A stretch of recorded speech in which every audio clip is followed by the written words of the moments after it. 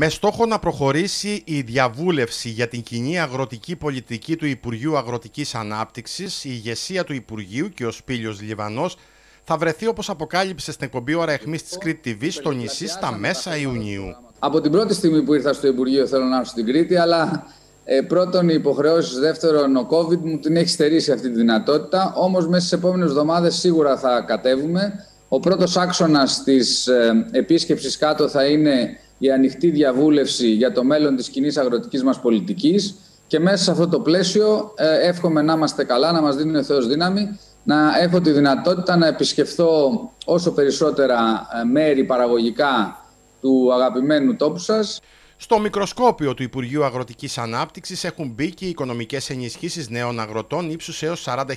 ευρώ,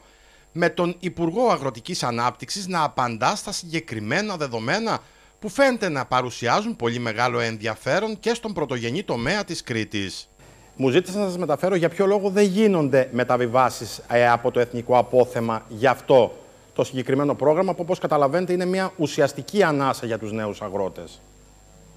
Κοιτάξτε, ε, υπήρχε μια παραδοσιακή λογική ε, στο πώς γινόταν αυτού του είδους η κατανομή και στο ποια ήταν η πολιτική του Υπουργείου. Εμείς φέρνουμε έναν αέρα αλλαγής εδώ. Ε, όπως ε,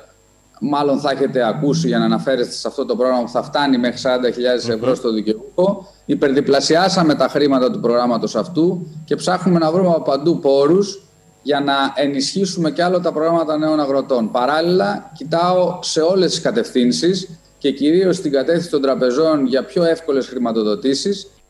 την ίδια ώρα, ο Υπουργός Αγροτικής Ανάπτυξης δεν απέκλεισε το ενδεχόμενο οι φετινές επιδοτήσεις να δοθούν νωρίτερα σε σχέση με την προηγούμενη περίοδο. Δεν σας κρύβω και το έχω ξαναπεί, θα τα πούμε και στην Κρήτη, ότι ε, ευελπιστώ να κάνουμε κάποιες, ε, κάποιους εξορθολογισμούς σε αυτές τις ε, επιδοτήσεις και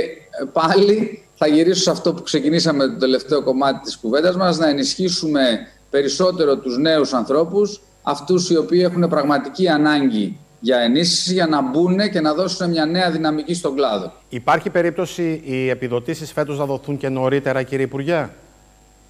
Κάνουμε ε, όλες τις δυνατές προσπάθειες. Είχαμε κάποια προβλήματα που ήρθαν από το παρελθόν στον ΟΠΕΚΕΠΕ, τα εξορθολογήσαμε όμως και σήμερα ε, γίνονται ε, στο σωστό χρόνο οι πληρωμές. Ε, Υπήρξαν κάποιες καθυστερήσεις που όπως είπα οφείλονται σε αβελτηρίες του χθες, αλλά πιστεύω ότι όλα θα γίνουν στην ώρα τους